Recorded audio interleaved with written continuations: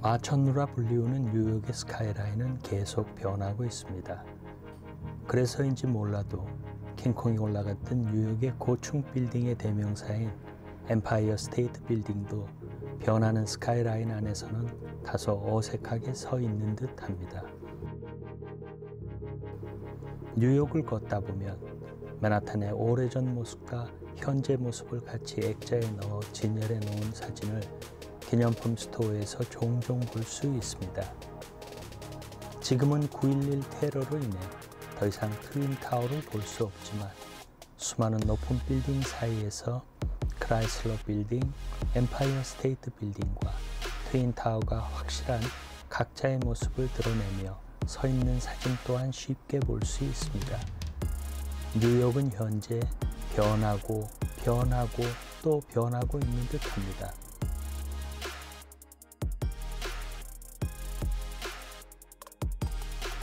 작년 2019년 3월 뉴욕의 새로운 랜드마크가 된 45.7m 높이의 베슬이라는 콘크리트 스틸 재료로 만들어진 벌집 모양의 조형물이 허드슨 야드에 세워졌다는 기사가 많이 났습니다.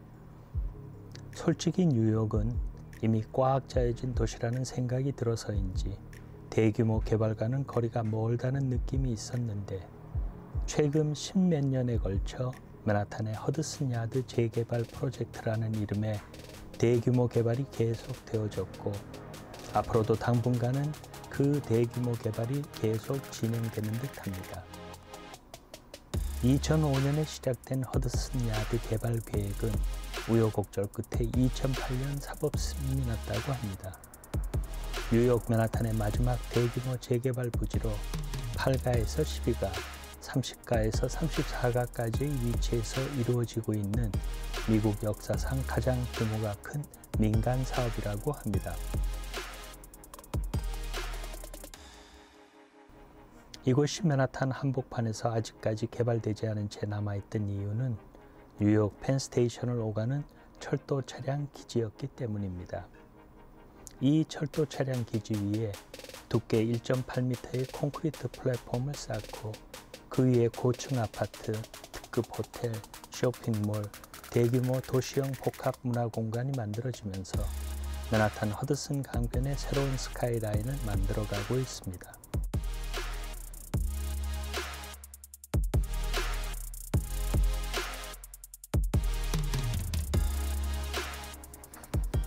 맨하탄은 남북으로 길게 뻗은 모양의 섬입니다. 긴 쪽의 길이가 약 13.4마일이며 동서의 가장 넓은 폭이 2.4마일이라고 합니다. 서쪽에는 허드슨 강이 흐르고 섬의 동쪽에는 이스트 강이 흐르고 있습니다. 이렇듯이 맨하탄을 걷다 보면 East 혹은 West 강가로 쉽게 접근할 수가 있습니다.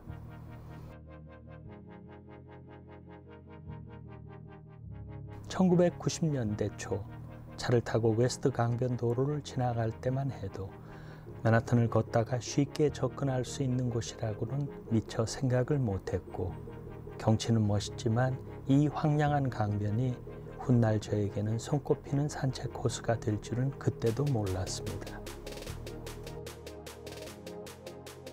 90년대 중반 범죄와의 전쟁, 마피아와의 전쟁을 선포하며 거리에 낙서 지우기를 시작한 줄리아니 시장 이전에 맨하탄 웨스트 사이드에 위치한 허드슨 강을 이 시대의 위대한 개발 프로젝트 중 하나로 만들어 수년간의 도시 쇠퇴를 반전시키며 강 어귀를 보호하자는 구상을 내놓은 사람들이 있었습니다. 이러한 구상은 마리오 쿠오모 뉴욕 주지사와 데이비드 딩킨스 뉴욕 시장으로 1992년 처음 주창한 것이라고 합니다.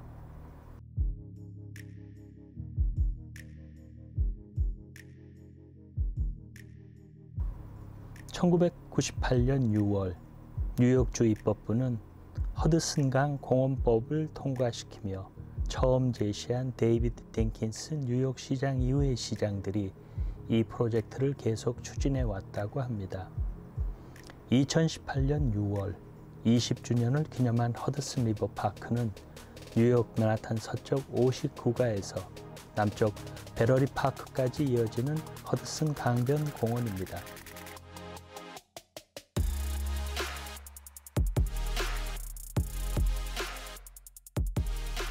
미국에서 가장 긴 강변 공원인 리버 파크는 맨하탄의 서쪽을 따라 4마일의 썩어가는 교각과 주차장을 지역 주민과 방문객을 위한 수많은 레크레이션과 교육 활동을 제공하며 허드슨강 환경 자체를 보호하는 데 중요한 역할을 하고 있다고 합니다.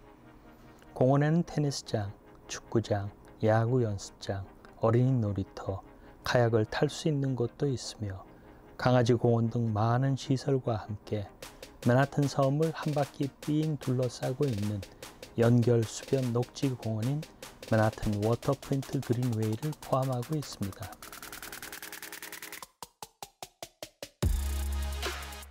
미국에서 가장 긴 강변 공원의 일부인 지금 그려지고 있는 이 피어 57은 맨하탄 서쪽 끝 15가 11레비뉴 허드슨 강에 위치한 긴 구두입니다. 1950년에서 54년 사이에 뉴욕시 해양과 항공에 의해 건설되었으며 뉴욕시에 의해 수행된 사상 최대의 부두 건설 작업이었다고 합니다. 875피트가 넘는 강에 돌출한 이 부두는 제2차 세계대전 당시 연합국 상륙용 floating pier를 설계한 에밀 프레거의 혁신적인 엔지니어링 설계로 만들어졌다고 합니다. 강바닥에 내몰린 전형적인 말뚝보다는 부력에 의해 무게의 90%를 지탱할 수 있도록 만들어진 것이라고 합니다.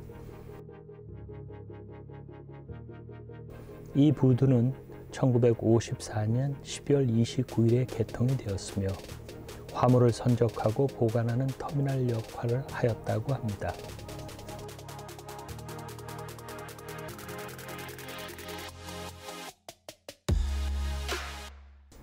해양 산업이 쇠퇴한 이후 1969년에서 2003년 사이에 피어 57은 뉴욕시 교통국을 위한 허드슨 피어 버스 디포가 들어왔으며 2003년 이전될 때까지 근 30년 동안 버스의 주차장으로 사용되었으며 그 후에는 특별한 쓰임이 있지는 않았다고 합니다.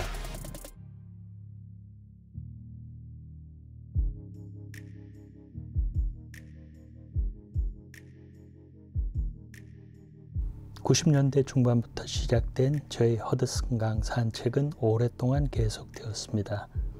2001년 9.11 테러 사건으로 쌍둥이 빌딩이 붕괴되기 전까지는 맨하탄을 걷다가 잠깐씩 들리던 강변을 점점 강변이 정리되는 듯한 느낌을 받으면서부터는 일부러 강변을 쭉 따라서 걷는 일도 많아졌습니다.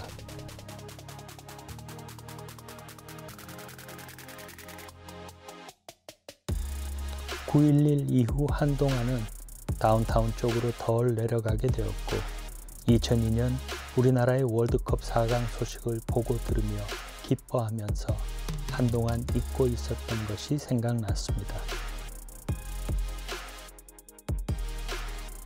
뉴욕은 90년대 말부터 2002년에 2012년 하계올림픽 유치를 위한 미국 내 경쟁에 공을 들이고 있었습니다.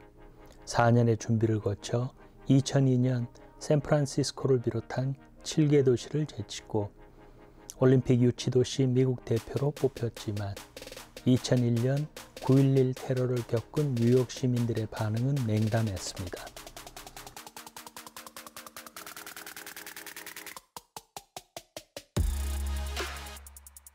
저 역시 88 서울 올림픽을 생각하면 뉴욕이 들떠 있어도 이해가 된다고 생각을 했지만 9.11 테러 순간을 생생히 기억하는 저로서도 마음 한편으로 허드슨강 주변이 점점 발전되었던 것이 올림픽과 연관이 있었다는 것을 알게 되면서 혹시라도 유치가 되면 벌어질 공사와 뉴욕에서 생활해야 하는 사람들의 직간접적인 테러의 걱정과 공포가 느껴졌던 것도 사실입니다. 또한 그 큰 메인 스타디움이 메라탄 어디에 생긴다는 건지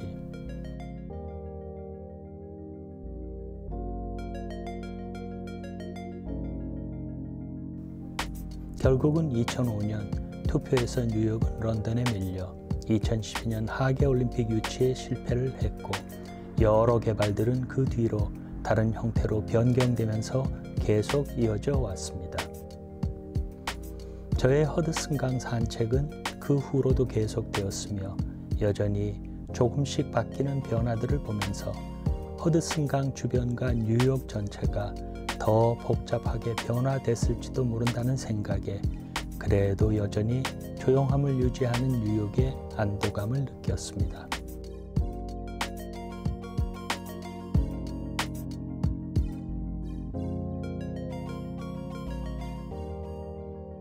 현재 뉴욕과 허드슨강은 계속 변화되고 있습니다. 피어 57은 부두의 특색 있는 강철 요소는 대부분 유지한 채 8만 평방피트의 옥상을 가진 산책로가 있고 레스토랑, 사무실, 공공 오픈 공간을 가진 곳으로 새로 태어났으며 몇 년 만에 엠파이어 스테이트 빌딩은 높은 빌딩의 순위 중 10위권 밖에서 찾게 될 것이라고 합니다.